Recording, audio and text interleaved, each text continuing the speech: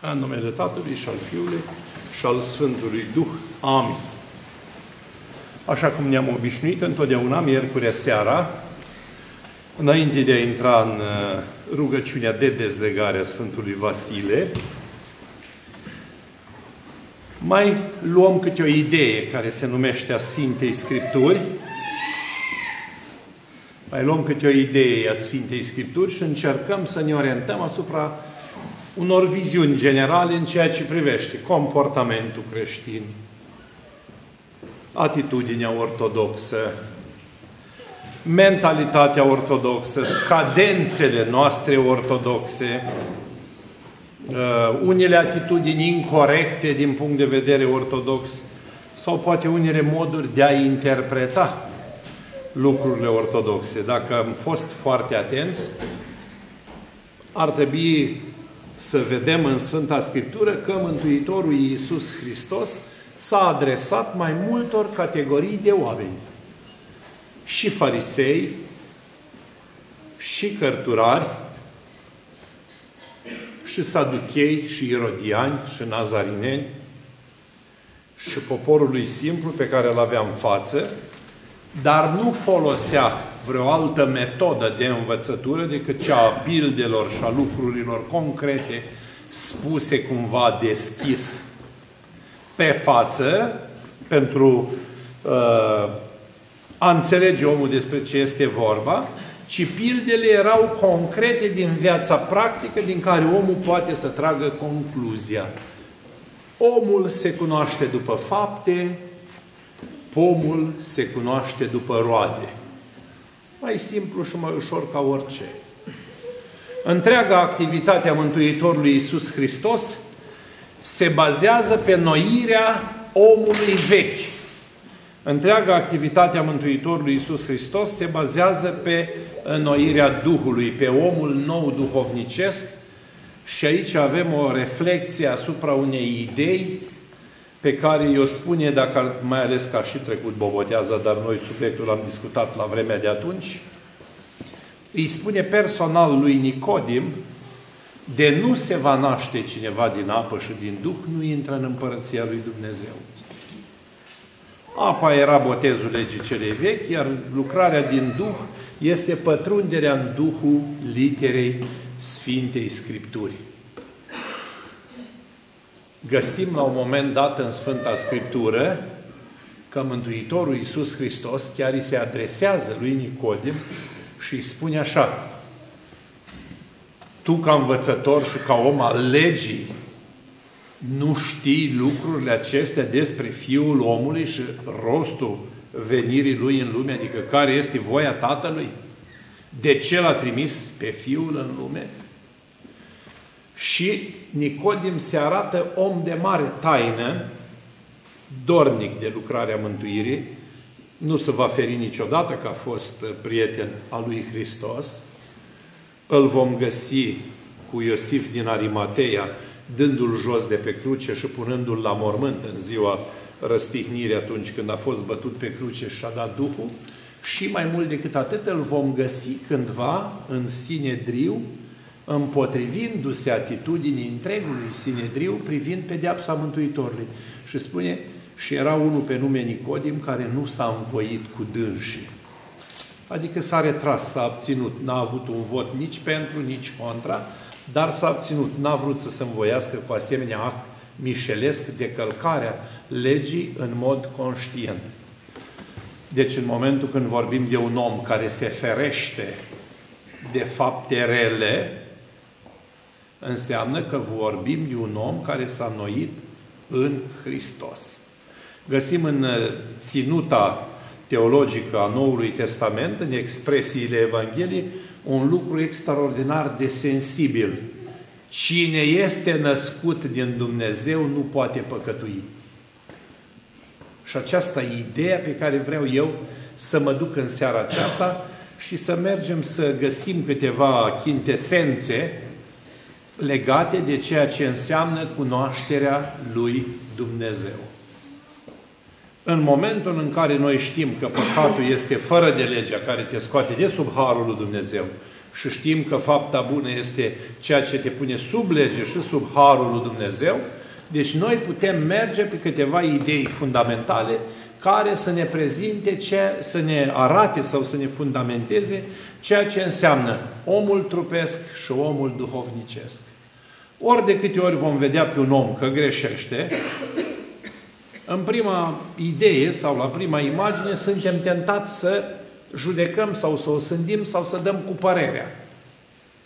Corect nu este să dăm cu părerea sau să judecăm sau să o sândim, ci să căutăm contextul, să căutăm contextul în care s-a păcătuit ca să vedem dacă omul este într-un instantaneu al greșelii sale, este într-un clip momentan de viață, într-un, uh, într-un uh, punct de cădere din neatenție, pentru că suntem raționali și supuși poftei și păcatului, sau vorbim de un păcat concludent făcut cu bună știință și în mod categoric, repetabil sau uh, sădit în sufletul nostru, și vom găsi în faptele apostolilor că Sfântul Apostol Pavel, cel care a scris cele 14 epistole,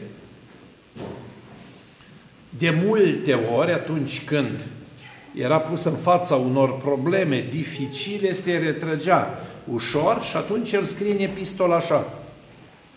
Niciodată nu vă luați de, cu basmele lumești.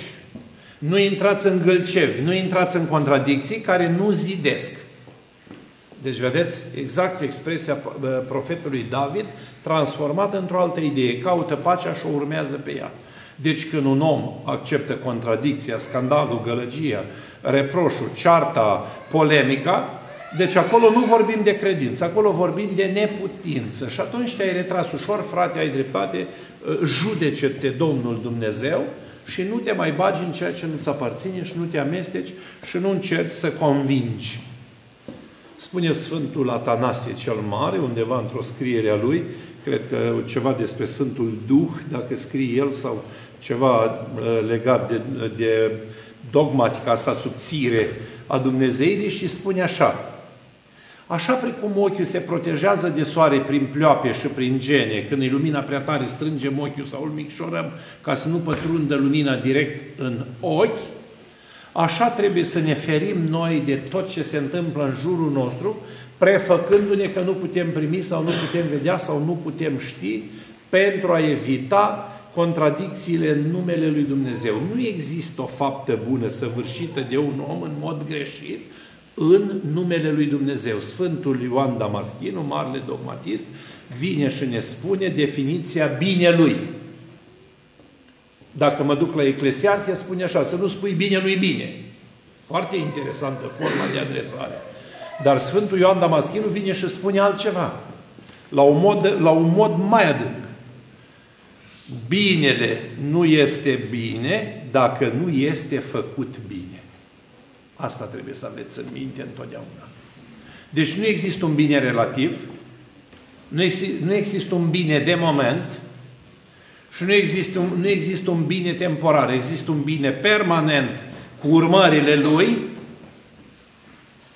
și există un bine relativ strâmb care înseamnă altceva decât abaterea de la literă, cum spune Domnul Hristos, mai categoric ce este vouă da, da și ce este vouă nu, nu, restul este strict de la diavolul. Deci, în momentul în care întâlnim în viața cotidiană omul gâlcevitor, omul scandalagiu, omul pătimaș, omul orgolios, omul mândru, omul răzbunător, omul dușmănos, ucigașul, criminalul, curvarul, bețivul, destrăbălatul sau ce vrem noi, dacă nu primește cuvântul lui Dumnezeu ca să se îndrepte, nu stai să te cerți cu el, nu, nu acesta e scopul bisericii, ci scopul bisericii este îndelungă răbdarea și îndelungă așteptarea, este sfânta și dumnezească rugăciune, prin care omul poate să ajungă să se cunoască pe sine și apoi să-și ia crucea sa și să murmeze mie, zice Domnul. Dacă ne uităm la Mântuitorul Iisus Hristos, dacă ne uităm la Mântuitorul Iisus Hristos, n-a catalogat toți oamenii în aceeași oală. găsim pilda vameșului și fariseului. Vameșul plin de păcate se ruga și își bătea pumnii cu pieptul, fariseul din fața Sfântului Altar să lăuda el un pic că e prea corect, adică se fălea. N-ar putea spune cineva că el era măsura răutății între farisei. Nu putem ști. Nici vameșul nu era măsura răutății între vameși. Pentru că îl găsim pe Mântuitorul Iisus Hristos, stând de vorbă cu fariseul Nicodim, care era un fariseu care accepta dialogul cu Hristos și care mai și învăța din cele spuse de Hristos și pe lângă faptul că învăța din cele spuse uh, despre Hristos, se vede că mai departe le-a și împărtășit la rândul lui Nicodim, deslușind și altora ceea ce a spus Dumnezeu în taină atunci când s-au întâlnit ei undeva noaptea, și o să vă întrebați de ce noaptea și nu ziua, noaptea datorită faptului că Mântuitorul ziua era înconjurat de oameni și de mulțimi și nu avea timp permanent să stea și să vorbească cu fiecare în parte. Și atunci mulțimile îl îmbulzeau și îl aglomerau. Unii își vindecau bolnavi, alții își, uh, își vindecau neputințele, unii erau izgoniți demonii. Deci Mântui, Mântuitorul avea o permanentă activitate mesianică activă. Deci nu era un fel de prinț pe tron, unde venea lumea și îl adula, ci el trecea prin mijlocul mulțimii, stătea în mijlocul lor și le vorbea cuvântul lui Dumnezeu. Și atunci Nicodim ascultând, pentru că și la vremea respectivă exista un sistem de verificare a societății, mai ales că Ierusalimul era sub o dominație romană, era un sistem de serii, ca să spunem, unde omul de care nici nu bănuiai, portarul, vizitiu, cel de la fântână care scotea apă, cel de la prăvălie, cel care trecea pe ulița târgului sau a cetății, unde vedea o aglomerație, venea și trăgea ușor cu urechea, asculta ce se vorbește și bineînțeles că ducea guvernatorului sau cezarului. Și atunci se lua automat măsură, măsură, și aici știm că măsura fundamentală care s-a luat asupra Mântuitorului, fiind și de origine mincinoasă, și o să vedeți de ce, avea în ea și una politică, acesta spune că el este împărat, noi nu avem alt împărat afară de cezarul, deci ați văzut cum au strecurat șopâr la politică în discursul lui Isus, numai că Isus îi spune lui Pilat și îi replică, dacă eu aș fi fost împărat și aș fi râvnit ceva, n-aș fi fost în mâna ta dat prins, pentru că cei care erau cu mine și făceau parte din, din staful meu m-ar fi apărat, s-ar fi luptat cu voi ca eu să nu fiu aici. Dar împărăția mea nu e din lumea aceasta. Ei, acest mod al lui Nicodim de a veni noaptea la Hristos și de a lua învățătură și sfat în mare taină, în liniștea nopții, pentru că scrie în Scriptură că Hristos adeseori se retrăgea noaptea în munte și se ridica și se ruga singur. Deci această retragere, această liniște, i-a conferit lui Nicodim un moment de taină, în aceasta tocmai constă taina, că a putut prinde o clipă în care să stea de vorbă cu Fiul omului, cu Dumnezeu. Lucrul acesta îl facem și noi în taină, în casa noastră, cu același Dumnezeu, numai că în chip spiritual, atunci când citim psaltirea, când citim ceaslovul, când uh, citim un acatist, Uh, când spunem rugăciunea minții, când spunem rugăciunile pe care le știm din minte, dar simțim nevoia să aprindem o lumânare în tăcerea miezului nopții, când ceilalți se odihnesc și noi să sfătuim cu Dumnezeu pentru binele gospodăriei, a familiei, a copiilor și a celor din jurul nostru. Rugăciunea nu are niște hotare, ci este dată tuturor oamenilor. Toți oamenii se pot ruga indiferent de vârstă, indiferent de capacitatea teologică, și pot convorbi cu Dumnezeu așa cum a convorbit și Nicodim în taină. El această taină n-a ținut-o ca un secret, adică n-a fost o conspirație la adresa Sinedriului, pentru că el și-a manifestat liber această vorbire de taină și când vorbim despre această vorbire de taină, dacă nu s-ar fi știut că El s-a întâlnit cu Hristos și a primit sfaturi privind planul de mântuire a lumii și ce gânduri are Hristos față de societatea prinsă de diavol și chinuită de stricăciune, El n-ar fi spus nimănui niciodată, dar noi știm că Nicodim a stat de vorbă cu Hristos tocmai pentru că El a povestit altora că a stat de vorbă cu Hristos și ce frumos i-a vorbit învățătorul. Și atunci a devenit un apărător al învățăturii lui Hristos, așa cum găsim și în Scriptură.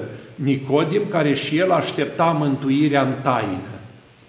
Deci știa de la Dumnezeu niște lucruri minunate și aștepta să le vadă cum se împlinesc. Acesta este, dacă vreți, miezul a ceea ce și noi așteptăm în taină, cum să ne mântuim. Deci noi când ne mântuim, nu ne mântuim pe zvonuri, pe idei, pe curente, pe demagogii, pe doctrine, pe iluzii, pe interpretări, pe răspândeli din astea de vorbe, de clacă sau goale, ci mergem pe fundamentul pe care l-a spus Iisus Hristos, învățătorului de lege, când învățătorul de lege a întrebat ce pot eu să fac sau care e cea mai mare poruncă din lege care să-l mântuiască pe om. Și Iisus Hristos i-a spus scurt, ce este scris în lege, cum citești. El și-a interpretat textul, nu mai repetăm porunca din Decalog, să-L iubești pe aproape ca pe tine însuși pe Dumnezeu din tot cugetul, și Mântuitorul i-a spus scurt, fă aceasta și vei fi viu. Deci dacă faci ceea ce scrie în Scriptură, poți fi viu. Viu și născut din Duh. Adică poți fi om al Duhului. Și iarăși mă repet, cine este născut din Dumnezeu nu poate greși, nu poate păcătui. Pentru că fiind om al lui Dumnezeu, Dumnezeu înseamnă virtute, iubire, lumină, dragoste, pace. Nu înseamnă păcat, nu înseamnă scârbă, nu înseamnă suferință, nu înseamnă sânge, nu înseamnă jignire, nu înseamnă vorbă de șartă, nu înseamnă vorbă grea, nu înseamnă calomnie, nu înseamnă nimic, nimic, nimic din cele cu care noi ne comportăm uneori în jurul nostru și aș puncta ca idee pentru tema de acasă din seara aceasta să avem această idee. Suntem născuți din Dumnezeu după faptele noastre? Sau nu suntem născuți din Dumnezeu după faptele noastre? Și aceasta ne ajută să ne dăm singuri seama în ce categorie ne putem posta. Dea dreapta celor binecuvântați ai tatălui meu, așteptând cu groază apocalipsa, cum o așteaptă mulți din jurul nostru și abia așteaptă să interpreteze fiecare semn și fiecare virgulă și fiecare părere, deși aceea o, o împlinește doar Dumnezeu la glasul Arhanghelului și la trâmbița judecății, sau așteptând cu seninătate și cu liniște, cum spun și unii bătrâni de-ai noștri înțelepți, ce vrea Dumnezeu, aceea fi mare slava Lui. Și cu asta omul s-a liniștit, s-a însemnat cu o cruce mare și se lasă în seama prea Sfintei și de viață făcătoarei trei, Tatăl, Fiul și Duhul Sfânt. Mai departe găsim la Mântuitor o expresie pe care o vom găsi și în faptele apostolilor, mai, la Sfântul Apostol Petru, mi se pare, sau poate sper să nu greșesc, dar în faptele apostolilor, când unii din apostoli sunt prinși, dar cred că de apostolul Pavel vorbește. Și în momentul când este în fața arhiereului, îi cărpește două palme și îi spune mormânt văruit. În clipa respectivă, cel de lângă, care era slujitor, spune, lovește arhiereul și a spus, n-am știut. Deci Pavel în clipa în care se opune unor greșeli care se întâmplau la nivel spiritual în societate, se impune până la adevăr și până la dreptate, dar nu depășește atitudinea sacerdotală a ceea ce înseamnă slujitorul lui Dumnezeu. Găsim două expresii în faptele apostolilor. Nu se cade să ascultăm de oameni mai mult ca de Dumnezeu. Ce înseamnă asta? Dacă o lege lumească, cum avem noi astăzi, societatea, ar da o lege care e împotriva lui Dumnezeu, Evident că noi, prefăcându-ne că respectăm acea lege care este contrară legii lui Dumnezeu, noi păzim legea lui Dumnezeu. Și o să zici, dar cum, părinte, nu e o minciună? Ba nu e o minciună. Legea concubinajului este permisă în societate din punct de vedere social, nu este permisă din punct de vedere spiritual. Cine este din Dumnezeu nu poate păcătui. Născut din Dumnezeu, adică din cuvântul Evangheliei. Legea întreruperii, sau cum se cheamă, avortonului. Că ai voie să faci, că ești liber și faci ce vrei cu trupul tău.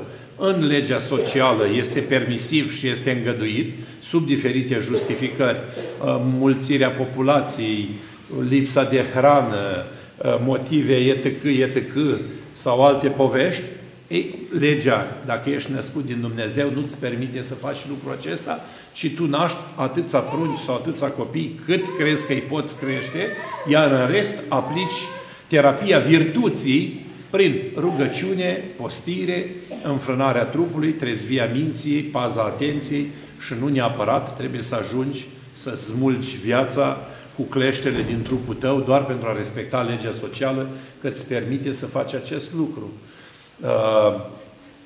Uh, legea dreptății, majestății, justițiare, pe care noi o numim drept penal sau drept civil. Deci când ne ducem în fața judecătorului pământesc, o spune Hristos, doi frați certându-se de la o avere, s-au dus la Hristos și au spus așa, Doamne, fratele meu nu-mi dă partea mea ce mi se cuvine. Și Hristos, foarte nostim și corect, îi spune așa, regret, eu nu vreau să te superi, eu nu am venit aici pe pământ împărțitorul averii fratelui tău. Pentru aceasta îl aveți pe cezarul, adresați-vă cezarului. Deci dacă tu ești omul lui Dumnezeu, când te-ai dus în fața cezarului, spui numai și numai adevărul, că așa te întreabă acolo avocatul sau judecătorul. Spune o Biblie sub nas și spune așa, jur să spui adevărul și tu spui, jur să spun adevărul și numai adevărul și numai adevărul. Și tu dacă nu ești născut din Dumnezeu și, nu, și vrei să păcătuiești, poți să minți acolo și să spui ce vrei tu și să spui, domnule, am rezolvat, a ieșit lucrurile cum am vrut eu. Din punct de vedere pământesc, din punct de vedere duhovnicesc, nu mai ești cu Dumnezeu, ci ai mărturisit strâmb, ai jurat strâmb, ai mințit strâmb, ai spus strâmb, și deja te-ai impietat în sufletul tău între tine și Dumnezeu. Deci ce ești? Fariseu. Ce face fariseul? Le păzește pe toate dreptele. De, de socoteală din izmă, pe la Matei, parcă, din chimen, din uh, mentă, din ce spune el acolo, zecială, din ce câștigă.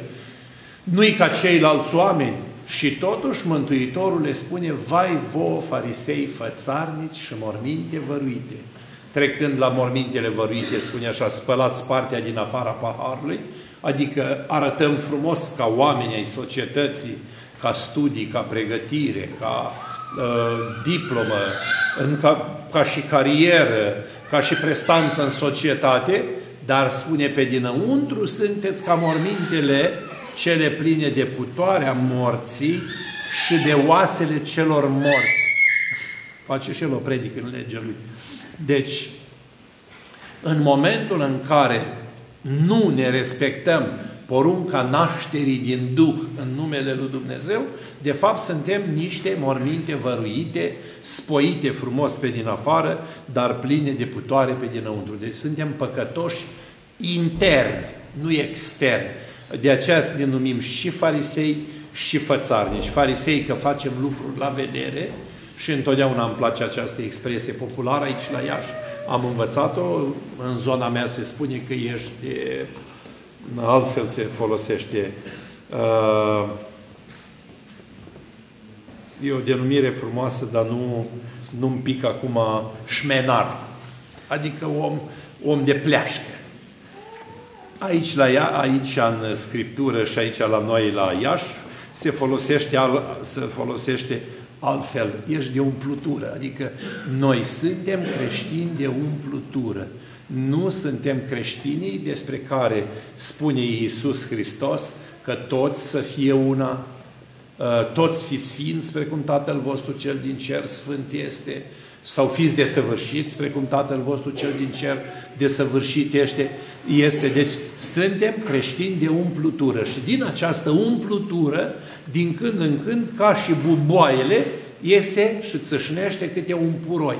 Aici un exces de beție, aici un exces de lăcomie, aici un exces de crimă, aici un exces de minciună, aici un exces de manipulare, uh, un exces de interes mercantil ieftin din ăsta, cum le numim noi uh, în societatea asta, ei le spun corupție, nu-i vorba de corupție, sunt afaceri din astea uh, ieftine și ticăloșite. Ei, toate acestea arată că noi în interiorul nostru nu trăim legea lui Dumnezeu, ci trăim legea, legea unui interes pământesc pe care îl vom găsi menționat de către Ana și Caiafa, arhereul Caiafa fiind socru arhereului Ana, care era și arhereu al anului, și când a auzit că Hristos a mai și înviat morți, când a auzit că Hristos a mai și dat pâine în pustie, când a auzit că a înviat-o și pe fica lui Iair. Cine era Iair? Un fariseu și un uh, învățător, sau cum se spune, un uh, rabin al legii celei vechi, care vorbea la sinagoga din Capernaum. Și totuși Iisus Hristos nu l-a pus în rând cu toți ceilalți farisei să-l trateze în bătaie de joc sau să-l disprețuiască. Voi veni la casa ta și vom vedea, fica ta n-a murit și doarme. Ei au pufnit în râs, a spus, cred că iurează învățătorul, cum dacă noi am văzut-o că nu mai suflă, el spune că doarme.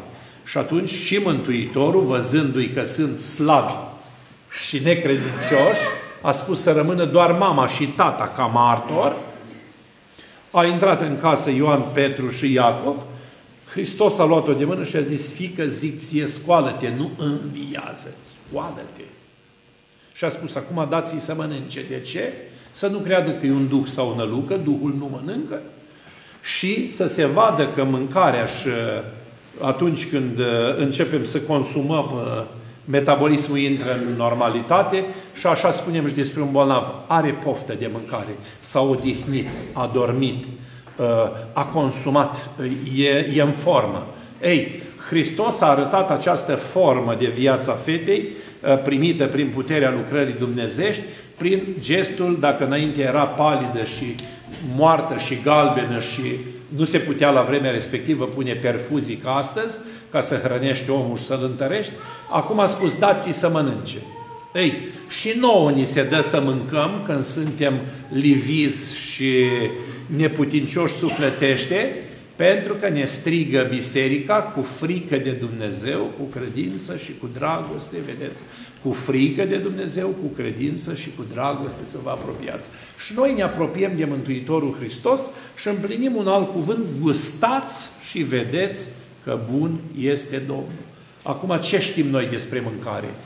Poate fi mâncată în cantitate abuzivă și dăunează, adică în mod excesiv, poate deveni lăcomie sau îmbuibare și dăunează, poate deveni bulimie, cum îi spunem noi în termeni tehnici, din punct de vedere medical și devenim obez, sau poate deveni obicei prost de îmbuibare și nesațiu, fără, cum spune acolo în popor, vorba populară, a mâncat până a atins cu degetul este o, o vorba a oamenilor care înainte, la confin, mâncau și când nu încăpea mâncarea, băgau degetul pe gât și o împingeau să se ducă pe esofag în jos. Ei, cam aceasta înseamnă lăcomia nemăsurată. Ei, Hristos a arătat că trebuie să mâncăm cu măsura priceperii dumnezești. Dați-i să mănânce. Și Hristos a spus, ca să vedeți că nu sunt duh și Duhul n-are carne și oase, i-au dat ca să mănânce. Și ce i-au dat? O bucată de pește fript, nu un bol, și un fagure, o bucată de fagure de miere. Deci acela era cumva desertul. Deci ceva ușor. Același lucru găsim și la Dumnezeiescul potir pentru noi creștini, când biserica vine și spune așa, gustați și vedeți că bun este Domnul. Numai gospodina care face mâncare deasupra plitei permanent se poate exprima concret în acest verset și spune cei din casă, dar mata nu mănânci? A, dar las că eu cât am mirosit aici mâncarea și am făcut-o, am gustat-o, e bună. Celălalt spune, punem și mie să mănânc, să văd cât e de bună. Și după ce ai mâncat o porție, spui, dar mai punem un pic, că parcă nu i-am prins gustul. De ce cel care a făcut-o s-a săturat și de ce cel care a mâncat nu i-a prins gustul? Pentru că mirosul hrănește înaintea bucatelor. Deci în momentul în care simți mirosul de Dumnezeu, te saturi de Dumnezeu și începi să poftești pe Dumnezeu, în momentul când simți gustul de Dumnezeu, îți place Dumnezeu și îl vrei pe Dumnezeu și în momentul în care apar primele parfumuri de Dumnezeu, tu devii îndumnezeit și devii om al Duhului și nu mai devii om al trupului. Și-au împărțit cinci pâini și doi pești, pe care le-a binecuvântat Hristos, nimeni nu poate explica această taină niciodată în ce mod s-a petrecut, deci este clar că a fost asemenea uh, evenimentului cu mana din pustie, într-un mod miraculos și neștiut, încât au putut strânge după aceea 12 coșuri de fărâmituri. Deci din 5 pâini, 12 coșuri de fărâmituri. Deci vă dați seama că vorbim de o minune în mod duhovnicesc care depășește limita și legea firii. Poate o să vă întrebați și o să ziceți de ce m-am băgat eu să vă povestesc lucrul ăsta în seara aceasta. Aș vrea înainte de a căuta, înainte văzătorii, aș vrea înainte de a căuta sfinți pe pământ, aș vrea înainte de a căuta oameni îmbunătățiți, să învățați care sunt barometrele omului îmbunătățit. Și luăm epistolele Apostolului Pavel și citim, dragostea le întrece pe toate, deci unde vedeți că omul are dragoste și bunătate, acolo e Duhul Sfânt, și apoi mai sunt câteva semne ale Duhului, roadele Duhului, pacea, bucuria, îndelungă răbdarea, smerenia, înfrânarea, curăția, împotriva unora ca acesta nu este lege. Când le găsiți în semenii voștri, în dumneavoastră, în noi înșine, în cel de aproape, în soț, în soție, în copii, acolo este prezent Duhul Sfânt. Deci așa vă puteți da seama dacă lângă dumneavoastră este un om al Duhului Sfânt. Și căutați acești oameni născuți din Duhul Sfânt, prin cuvântul Scripturii, ca așa spune Evanghelia lui Ioan, la glasul lui Dumnezeu și la trâmbița judecății, toți vom învia într-o clipeală de ochi și nu ne vom schimba și ne vom schimba, dar cum? Din om trupesc în om duhovnicesc, din om stricăcios în om nestricăcios, dintr-o slăbiciune într-o putere, dintr-o neputință într-o slavă și mărire. Pe, sunt cele patru firi pe care le explică Apostolul Pavel.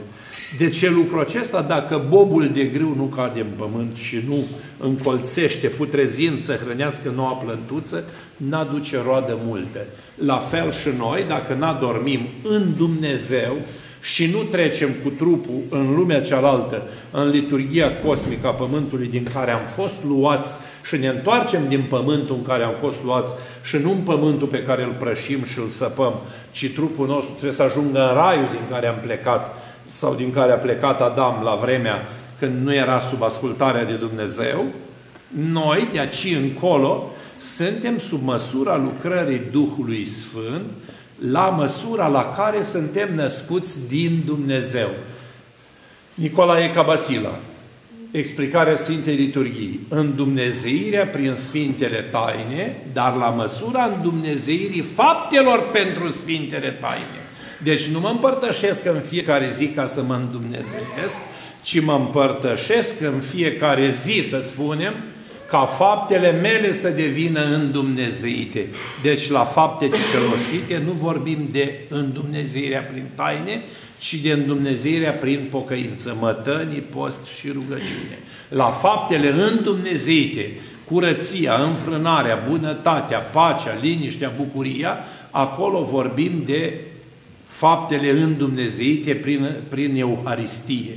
Deci deja omul se luminează, se desăvârșește și, cum spune Mântuitorul Iisus Hristos, tot în Evanghelie, că ce-ar putea omul da în schimb pentru sufletul său, vedeți ce întrebare de esență, tot pentru acasă, dacă toată lumea ai câștigat-o și sufletul l-ai pierdut. Și am găsit și eu o chintesență la aceasta și am spus așa. Nu trebuie să ne intereseze părerea lumii despre noi, ci trebuie să ne intereseze părerea lui Dumnezeu despre noi. Că dacă noi avem o părere bună despre noi prin cei din lume, nu știm ce părere are Dumnezeu față de lume și față de noi. Pentru că, spune Apostolul Pavel, omul este trecător și pe deopotrivă schimbător, filocalia lui Isaac Siru, dar Duhul este o sârduitor și nu se uită la trup care este muritor, ci poartă grijă de lucru cel nemuritor, de aceea Sfinții devin nemuritori pentru că se înduhovnicesc prin lucrarea în Dumnezeirii în Duh. A fost cam greuță, n-a fost cu povești, n-a fost cu, n-a fost cu istorioare, dar vă pot încheia cu o istorioară frumoasă ca să vedeți ce înseamnă îndumnezeirea din fapte și îndumnezeirea din Duh. Era un uh, călugăr într-o pustie, dar cred că noi am mai vorbit de el, Ava Amuna Nitriotu, care era și un fel de episcop al Nitriei și un fel de mai marele călugărilor care îi veghea și îi pilduia și îi învăța prin viața lui curată și atunci când aveau probleme sau aveau nevoie de sfaturi, veneau la el și cereau sfatul și bătrânul cu toată bună cuvința și evlavia, a învățat ce să facă pentru mântuire. Și odată câțiva frați au spus așa, Părinte Episcop, aici la noi în pustie este un om mai destrăbălat. Și problema se pune că la el vin persoane de gen feminin, el păcătuiește și îi smintește și pe ceilalți și se face de râs pustia. Și Ava, episcopul, a spus, mă voi duce și voi cerceta. Și fără să spună nimănui nimic, într-o zi s-a prezentat la chilia cu pricina, a intrat în casă, în, în chilia respectivă, călugărul a văzut că vine, n-a mai avut ce face, a băgat femeia în polobocul de la pesmeț, unde își ținea pesmeții să nu-i mănânce furnicile, șacalii, animăluțele de pustie cu un capac deasupra. A cerut episcopul, i-a spus călugărului, dacă vrei pune pe polobocul ăsta un plet, ceva sau o rogojină, că mă dor oasele, că vreau să stau pe el, să-l folosesc pe post de scaun. Și călugărul în felul lui s-a mai liniștit în clipa aceea. Pentru că de desubt era chiar ispita. Și a zis, dacă bătrânul n-a sesizat-o, înseamnă că nu este chiar văzător cu Duhul, cum se vorbește în pustie. Dar noi vorbim de roadele Duhului Sfânt. Pacea, bucuria, liniștea, curăția, înfrânarea, îndelungă răbdarea, da, smerenia, sunt roadele Duhului Sfânt. Și a spus episcopul, rogu-te dacă vrei, mergi și anunță frații din pustie că sunt și eu aici să le dau un cuvânt de folos. Și aș vrea să vină cu tare, frate, cu tare, frate, cu tare, frate, acesta a dat zvon imediat și din unul în altul imediat s-au adunat o ceată de călugări acolo, au stat la picioarele lui Ava și Ava a spus așa, mi-ați spus despre fratele vostru că păcătuiește. Am cercetat îndelung cu Duhul meu și cu ochii mei și cu gândul meu și cu sufletul meu toate împrejurimile acestui loc. Și n-am găsit pricină de păcat și de aceea v-am chemat și pe voi ca să vedeți, să vă convingeți, să nu fie oare scenăluciri de la diavolul care să vă înșele în lucrarea duhovnicească. Frații s-au rușinat, au bătut metanie până la pământ și au cerut iertare de la fratele Au plecat toți pe rând și episcopul a spus așa, vreau să rămân singur, să mai povățuiesc pe fratele, știe de taină. Și când a rămas doar numai cu el și ceilalți au plecat, după ce bătrânul episcop i-a spălat imaginea și i-a îmbunătățit uh, chipul în fața fraților, chipul cel duhovnicesc, l-a bătut cu palma pe umăr și i-a spus, frate, ai grijă, nu mai păcătui. Pe mine nu mai supărat dar poți să-L superi pe Dumnezeu. De 30 de ani mă lupt cu păcatul nerăutății, a nejudecării, a neclevetirii, a neținerii mintelui răului, a răzbunării, a facerii de rău. Și uite, tu și frații aceștia din pustie mă împingeți să greșesc înaintea lui Dumnezeu. Vreau să înțelegi ceva din lucrul acesta. Și bătrânul l-a binecuvântat și a plecat liniștit, iar fratele, rușinându-se de înțelepciunea bătrânului, și-a îndreptat viața. Deci, cum am început noi cuvântul, un bine care nu se face bine, nu este bine. Chiar dacă ai dreptate într-o situație, dar poți să salvezi pe omul care a greșit, e mai important să-l salvezi și să-i crești reputația și stima de sine și onoarea de sine, să-l pui pe poziția de plutire, decât să fii justițiarul perfect, care să poți pedepsi și tăia și arăta că tu ești perfecțiunea într-o că tu aplici adevărul. Hristos când a venit, repet, femeia păcătoasă, și au venit cei care erau de față și au spus, aceasta a curvit? Ce trebuie să facem după legea noastră, Hristoase? Păi, legea spune să o ucideți cu pietre. Dar tu, învățătorule, ce zici? Adică legea spune, dar tu ca învățător ce zici? Vreau să-L prindă pe Hristos în cuvânt, să-L, să pună la mijloc, să-L pună în situația să zică, n-am omorât-o noi, Hristos ne-a poruncit să o omorâm ca să-i creezi o imagine de ce? De irascibilitate. Și Isus Hristos scoate, cum se spune, ca Dumnezeu, cuvântul cel mai adânc din toate și spune așa, da, eu sunt de acord să omorâți cu pietre, dar într-un singur mod. Cel ce este curat să arunce întâi cu piatra. Adică, ori de câte ori greșește cineva, Întreabă-te dacă n-ai greșit tu înaintea lui. Ori de câte ori greșește cineva, întreabă-te dacă nu poți tu greși cumva ca și el într-o zi. Și atunci nu ai motiv, atunci nu mai ai motiv să lovești cu piatra. De aceea, atunci când ridicăm piatra, să ne uităm atent în pământ, că poate și astăzi mai sunt urmele degetelui, degetelor Mântuitorului Iisus Hristos, care în timp ce oamenii ridicau piatra să lovească, el scria cu degetul în nisip. Și mulți filozofi ai vremii s-au întrebat ce-o fi scris acolo Hristos? Și au început fiecare în numele și în mentalitatea doctrinei pe care o cunoșteau ei sau învățăturii pe care o simpatizau. A scris că să o ierte, a scris că nu trebuie să ucidem, a scris din poruncă că să nu ucizi, nu.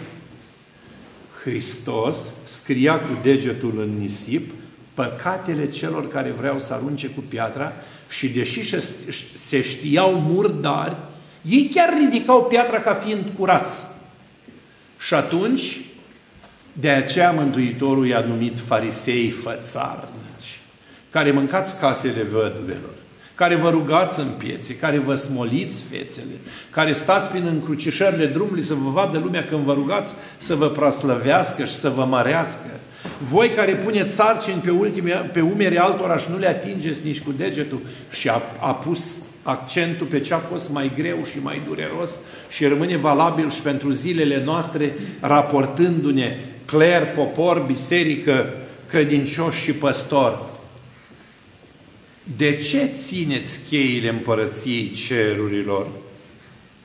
Și nici voi nu intrați și nici pe alții nu-i lăsați. Adică Scriptura este la îndemâna oricărui om să o cerceteze, să o studieze, să se mântuiască, dar să vrea să o studieze, să vrea să o cerceteze și să vrea să se mântuiască, iar cheile împărăției cerurilor, deși sunt în mâna preotului cu slăbiciunile sau cu neputințele lui, este obligat să le dea poporului spovedania, împărtășania, pocăința, euharistia, botezul, mirungerea, liturgia și toate celelalte, vorbind de taina a Sfântului Maslu, vorbind de taina cununiei, vorbind de taina hirotoniei, a celui care devine păstor. Deci, ele lucrează în popor nu pentru vrednicia noastră, ci pentru marele dar al lui Dumnezeu de a mântui lumea. mergând învățați toate neamurile și pune virgulă Hristos și spune ce trebuie să învățăm noi lumea. Câte v-am spus eu vouă, nu ce vreți voi. Câte v-am spus eu vouă. Și acestea sunt cuvintele pe care vi le-am spus eu vouă, spune Domnul Hristos. Să vă iubiți unii pe alții, așa cum v-am iubit eu pe voi, ca să cunoască lumea că sunteți ucenicii mei. Poruncă nouă vă dau vouă, să vă iubiți unii pe alții, așa cum v-am iubit eu pe voi, repetă Domnul Hristos. Deci aș vrea pentru tema din seara aceasta să aveți pe lângă întrebarea dacă suntem farisei, de ce suntem farisei și cum am putea să nu mai fim farisei, dacă suntem oameni ai trupului, de ce am rămas numai oameni ai trupului și nu vrem să schimbăm fundamentul material cu cel spiritual? Și a, do- și a treia întrebare, dacă suntem oameni născuți din Dumnezeu, de ce nu ne străduim să nu mai păcătuim? Pentru că cine este din, născut din Dumnezeu nu mai păcătuiește. Și cealaltă istorioară și mai scurtă și frumoasă, ca să vedeți acum lucrarea din altă, din altă chintesență, stătea pusnicul în pustie, se ruga și făcea pravile lui și poporul terminat că Dumnezeu nu mai dă ploaia pe pământ, terminat că se usucă holdele, că mor dobitoacele, cu cler, cu popor, cu arhereu, cu prapuri, cu mitropolit, cu sobor, făceau slujbe de zor și niciun strop de ploaie. O fetiță din rândul o fetiță din rândul poporului care era acolo cu mici copilajul la care a gângurit, spune către mitropolit, Păi zice, voi v-ați rugat de ploaie și ați chemat tot satul. Dar știți pe cine n-ați chemat? Pe pusnicul acela singur de sub pădure. Pe el de ce l-ați omis să-l chemați la rugăciune? Și unii au spus, ei, avem aici mitropolitul, avem aici episcopul, avem preoți, avem soborul, avem aici poporul. Mai contează rugăciunea, mai contează rugăciunea unui uh, pusnic singur, doar bănuiesc că și el se roagă pentru același lucru. Dar fetița insuflată de Dumnezeu insistă și spune, eu totuși v-aș da sfat după priceperea mea, să mergem până la el, să-l rugăm să se roage și el cu noi. Și mai de gura oamenilor care îl aveau la evlavie, dar nu vroiau să-l deranjeze, și mai de gura fetiței și mai de gura celor care au zis, domnule, să nu fie asta un semn din cer, dacă fetița a zis așa, haideți să facem lucrul acesta. S-au deplasat cu toți, cu sobor, cu popor, până la pusnic. Pusnicul, când a auzit zgomot și vorbă mult, a ieșit și el umilit din colibă și a făcut o cruce mare spre răsărit și a spus, de unde mie cinste aceasta să vină la mine atâta popor și sobor? E o sărbătoare? Și mitropolitul a spus așa cu sfială, Părinte, am auzit că ești și mata aici, la marginea pădurii, și uite, chiar a vorbit Dumnezeu prin gura unui copilaș, că poate te-ai rugat și mata pentru noi, că uite, noi ne rugăm de o săptămână și niciun strop de ploaie. Și bătrânul așa senin, ca și cum ar fi fost vorba de ceva prea firesc și normal, a zis, nu pot să cred dar voi chiar nu mai știți să faceți o rugăciune de ploaie? Păi haide, zice, să ne rugăm.